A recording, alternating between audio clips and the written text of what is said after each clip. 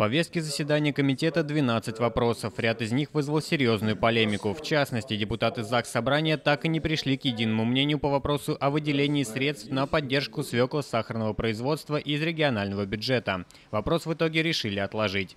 Не сошлись во мнениях парламентарии и по вопросу выделения дополнительных средств на покупку комплекса зданий на улице Горной для размещения там филиала Нижегородского государственного инженерно-экономического университета. Я не готов сказать, что по всем вопросам шло обсуждение конструктивное. По некоторым вопросам, на мой взгляд, оно шло на уровне, э, скажем так, каких-то э, эмоций, э, не связанных никак со здравым смыслом. Но с другой стороны, здесь народные избранники, каждый из которых имеет свое видение на жизнь. Э, мы должны с этим считаться, и в конце концов будет рассмотрение на законодательном собрании в целом, и рассмотрение э, еще разочек содержательно всех вопросов и дискуссионных и так далее.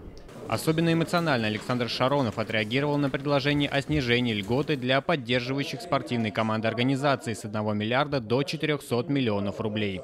Когда депутаты предлагают сократить льготу в два с половиной раза на полном ходу, это безответственно и даже, можно сказать, хулиганством, отметил он.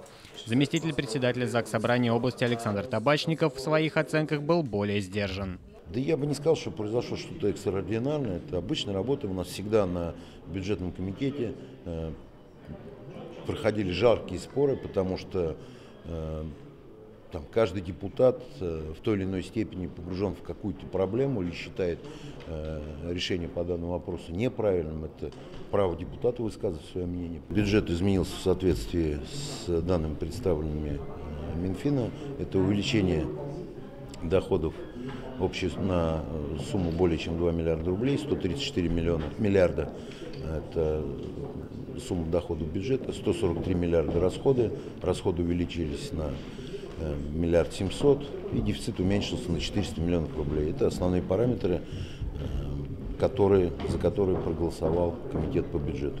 Александр Табачников отметил, что заседание Комитета по бюджету и налогам традиционно проходят весьма эмоционально. Главное, чтобы аргументы каждого депутата были услышаны.